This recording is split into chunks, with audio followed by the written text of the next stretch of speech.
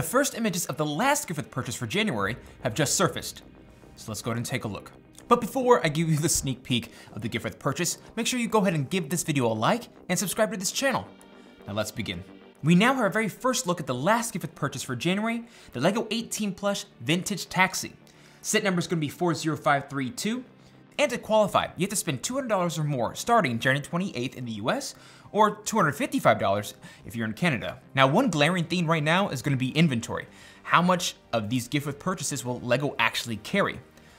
Safe bet is not that many, so make sure you mark your calendars for this one. Now, if the set number sounds familiar to you, set number 40532, that's because this set number is actually rumored three months ago to be the gift with purchase for the 15th anniversary of LEGO Modular.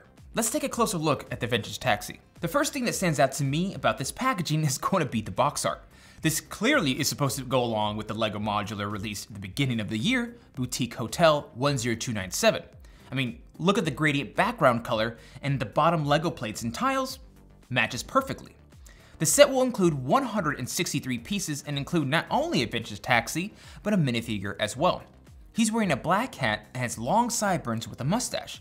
He's holding a donut and a brown briefcase in the other hand. As far as his torso is concerned, he's got a dark red jacket with a light blue polo. Also included is going to be a yellow streetlight, or possibly traffic light, next to the sidewalk with a green trash can. Now let's focus a little more on the actual vintage taxi itself. Now my first take looking at the vintage taxi is that this is one of my most favorite looking gift with purchase vehicles from LEGO.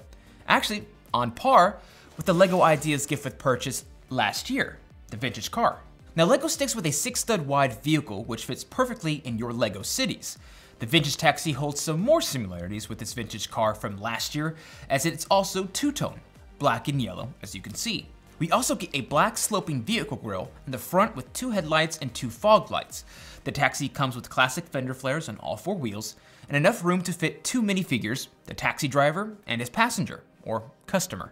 Now I wanna need your help out there to try to identify if there's any specialized parts in this gift with purchase, or is this something that you could build completely yourself? As of right now, I'm not really seeing any specialized pieces, which for some people is a good thing, and other people, it's a bad thing, because that means this is not that special of a set to celebrate the 15th anniversary of LEGO Modulars. Now, if you like the way this vintage taxi looks and you need this for your boutique hotel, just remember, $200 starting January 28th if you're in the US, or $255 in Canada. I don't know yet what that's gonna be in euros, most likely it's still gonna be the $200. But let me know, is this something that you guys plan on picking up? Is this something that you're gonna spend $200 or more on in the US? And will this go along with your boutique hotel? All right guys, that's gonna do it for today's video. I hope you enjoyed.